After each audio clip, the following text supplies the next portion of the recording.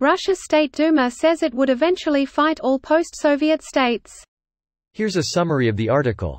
Russian State Duma deputy Evgeny Fedorov said that the terrorist country Russia intends to restore the Soviet Union by occupying neighboring countries.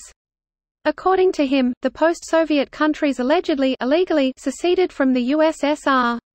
ADVERTISIMENT at the same time, the United Russia Party member said that Russia had already begun to unite the USSR by occupying part of Ukraine. The MP said that Russia would have to fight all the countries that used to be part of the USSR. At the same time, the politician considers the potential occupation of post-Soviet republics to be a return to the Soviet Union. Sooner or later, all former republics will conflict or fight with Russia, it's a matter of theory. Some of them will fight later like Belarus. Georgia has already been at war, as has Ukraine. This fully applies to Armenia as well, Fedorov said. The politician said that modern Russia is the Soviet Union. ADVERTISIMENT. Russia is replacing the Soviet Union. We are the Soviet Union. Accordingly, we, as the owners of the territory of the Soviet Union, have the right to restore the territorial integrity of the Soviet Union, which we did in Donetsk, Luhansk, Crimea, etc., the MP said.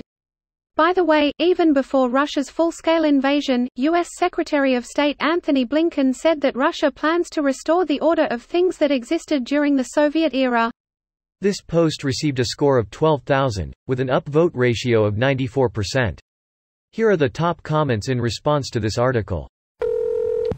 Yes, we all knew that already which is why the smarter ex-Soviet states lined up quick to join NATO. Why do you think Poland's buying up every piece of defense hardware they can?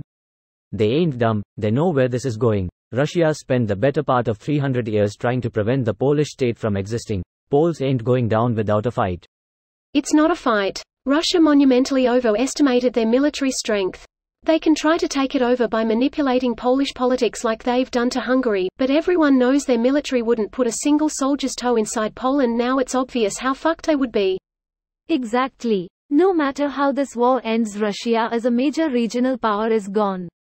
They can put up a show now because they are living off their Cold War equipment, like 80% of the equipment they are using are from the Cold War era, which will be gone in approximately a year. Combine this with sanctions, manpower losses, mass emigration AMD terrible birth rates AMD you got a country who will be an insignificant local power in two to three decades. Never mind the impending end of Russia as a regional power, they think they are still a superpower. I may have disagreed with John McCain on just about everything but he was right when he called Russia, a gas station with nukes. I'm not a Republican but I honestly liked McCain. He seemed like a decent guy. AFAICT he was a decent guy. I disagree with him on the major of issues, but he wasn't a threat to democracy, he wasn't a puppet, and he was right about Russia. Well said. The fact that the dude was in a war camp for five years deserves respect enough. Not according to Trump, who said he disliked McCain just for the fact that he was a war prisoner. It just goes to show you what a effing idiot Trump is and continues to be. The MP said that Russia would have to fight all the countries that used to be part of the USSR. At the same time, the politician considers the potential occupation of post-Soviet republics to be a return to the Soviet Union. Sooner or later, all former republics will conflict or fight with Russia, it's a matter of theory. Some of them will fight later like Belarus. Georgia has already been at war, as has Ukraine. This fully applies to Armenia as well, Fedorov said. What theory? The Russian theory of imperialism? The theory of when we invade or oppress countries they will inevitably fight back, and boy oh boy do we plan on doing some invading and oppressing not saying that Russia will actually invade these countries necessarily but that's the dipshit logic this MP seems to be using. This video was automatically created by Reddit to speech.